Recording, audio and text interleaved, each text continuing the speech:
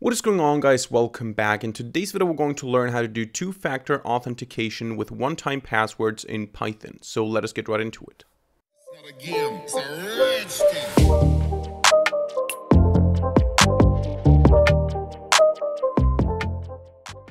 Alright, so I think most people are familiar with the concept of two-factor authentication and one-time passwords. The basic idea is that you have an extra layer of security when you log into a service. So you enter username and password, but then to make sure it's really you, you also get a code, for example, onto your phone in your authenticator app, and you need to enter this code to uh, finish the login process. So if someone else knows your username and password, they can try to log in, even though uh, they have the correct combination, they will not be able to log in because they don't know the code that was sent to your phone, for example. So they would need to have uh, both these things to log into your account, uh, and this is harder to crack, harder to hack essentially um, if you have two-factor authentication.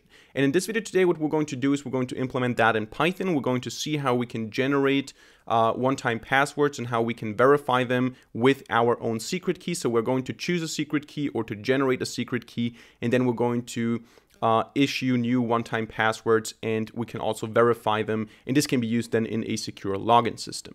So we're going to start by opening up the command line and saying pip install pyotp. So py one-time password is the library that we're going to use in this video today. Um, and what we're going to do first is we're going to import time. We're going to also import pyotp. And the first thing we need to decide on is the key. Now, as I said, we can just generate the key. So we can say key equals pyotp.randombase32 and then we can print that key and this would then be our key. Now one thing that you need to understand is if someone has this key, this same key, they will generate the same one-time password. So this is something that should be completely secret.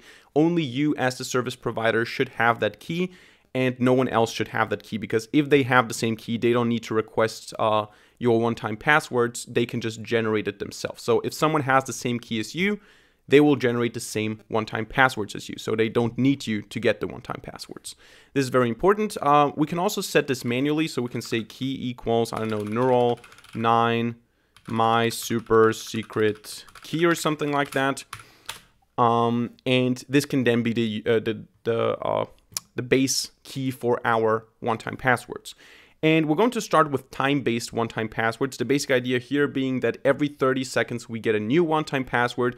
This is what you oftentimes uh, have in different services. I think on Steam, for example, you have the Steam Guard where you log into your Steam account and then you have to, if you have enabled two-factor authentication, you have to enter a six-digit code and after 30 seconds it expires and you have to enter another code uh, to log in. So in order to do that here in Python, we have to say TOTP for time-based one-time password. Um, this is going to be equal to pyotp.totp in capital letters, and we're going to pass here the key as the base. And what we can do now is we can just say print totp dot, dot now, since this is a time-based one. It's always based on the time. So now you can see it's 0, 0, uh, 0, 274. I can run this again. Now um, it's, it's a different one, but if I run it now again, it's always the same one for 30 seconds. So I can run this a lot of times after 30 seconds it will be a different code. So I can always rerun this. You can see it's the same code. This would be the correct code for verification. Uh, but after 30 seconds it will be a different code. And we can actually try this out. So we can actually say time sleep 30 and then print the same thing. So now it's uh, still the same. We can just keep this running here as um, we talk about uh, one-time passwords.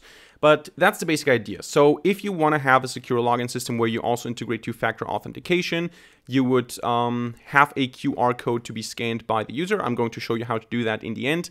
Um, and then the user would just uh, on their app, on the Google Authenticator app, for example, see, okay, this is the one-time password. If I want to log into the service, uh, I have to enter this, and we can verify this uh, using the verify method that I'm going to show you here in a second. As you can see now, the code is a different one because enough time has passed. Um, and we can actually go ahead now and just say something like uh, input code is equal to input, enter to FA code. And then we're going to say the code that we should enter is totp dot now, and we're going to print whether the input code is the same as the code.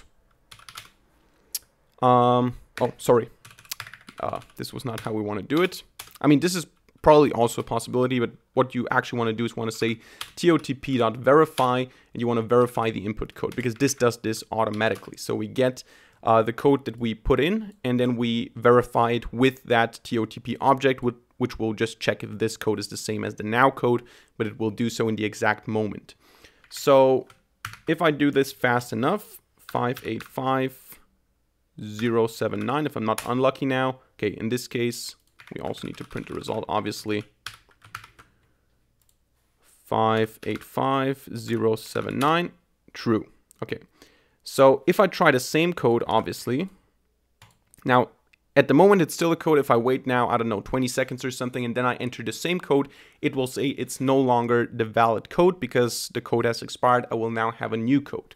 That's the basic idea. I'm not sure if this is already the case. I'm going to just wait a couple more seconds. Um, and this is how you can check that, right? So you have a login, you say, okay, please enter your one-time password. Then you look into your authenticator app, you enter it fast enough. Uh, so I can try this now. It says false, even though it was true a couple of seconds ago. Now it's false because the code has expired.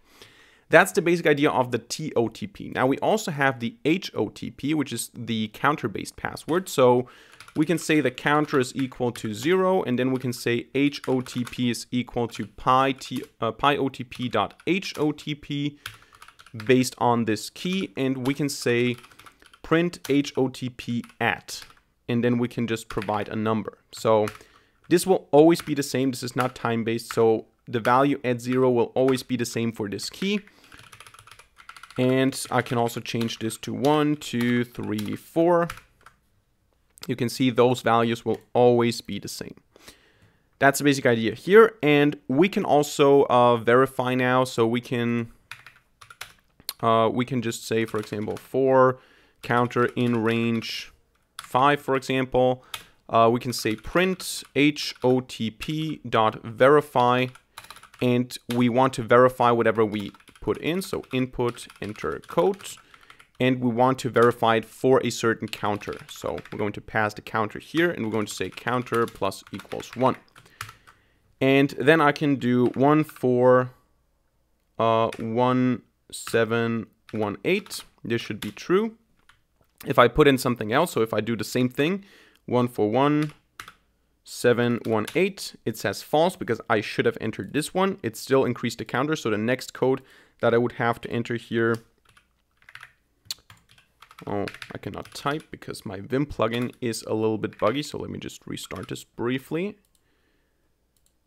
Uh, so again, the first one is 141718. Now I can put in something else here. Doesn't work. And then the next one would be 784843. This would work again. So it's a counter-based one. It will always have the same values for the same number and for the same key. So that's the basic idea of the different of, of these two uh, one-time passwords. Now we're going to take a look at how we can generate a URI that can be scanned by a Google Authenticator app in the form of a QR code. If you want to do this in the form of a QR code, you have to install an additional library. So you want to open up your command line, pip install QR code is the library. So you want to do it like that. Um, and then what we want to do is we, we just want to generate the URI by saying URI equals pi OTP dot TOTP dot TOTP. Then we pass the key. And then we say dot provisioning URI. And the name is the name of the user. So if you have the username of the respective person, you can say, okay, uh, Mike Smith 123 is the username, for example. Uh, and the service, so the issuer name, we issue these one-time passwords is NeuralNine app or something like that. So the application name. This will also be displayed in the Authenticator app. So we can print this URI and this is already enough. So we can already take this here, this OTP auth uh, URI and you can use it like that. But if you want to scan it with a QR code, all you need to do is you need to say QR code dot make URI dot save and then uh, TOTP dot PNG, for example just a file name. We also need to import QR code. And then when I run this, I get this image here. You can try to scan it with your Google Authenticator app. I'm going to do exactly that. So I'm going to go into my Authenticator. Right now you can hopefully see, let me just see my camera here on the second screen. Um, I have two authentication uh, for Discord and another service. And now I'm going to just scan this with a QR code. So you can just, in the Google Authenticator app, you have this QR code scanner. I can scan this and it automatically added here the NeuralNine app. I'm not sure if you're seeing this correctly here, but you can see NeuralNine app for Mike Smith 123. And we can always see how the uh, code expires and how it refreshes and gives me a new one. So I can actually now go ahead and without generating anything in this script here, I can just say TOTP equals pyotp dot verify, or actually, sorry, I need to create the, uh, the object first, so key, and then I can just say print, or I can say while true, print TOTP verify, and I can just input enter code. So I can run this now and I can always enter the code and it's going to tell me if it's valid or not. So let me just enter something here. This is false. And now on my app, I see what the current code is. It's 352556. True, there you go. So it's still that code, but if I try it now here in a second, so 352556, it's false, but now it's 198753. There you go, true again. So this works with the Google Authenticator app. Um, and yeah, this is how you do two-factor authentication in Python. So that's it for today's video. I hope you enjoyed it and I hope you learned something. If so, let me know by hitting a like button and leaving a comment in the comment section down below. And of course, don't forget to subscribe to this channel and hit the notification bell to not miss a single future video for free. Other than that, thank you much for watching. See you in the next video and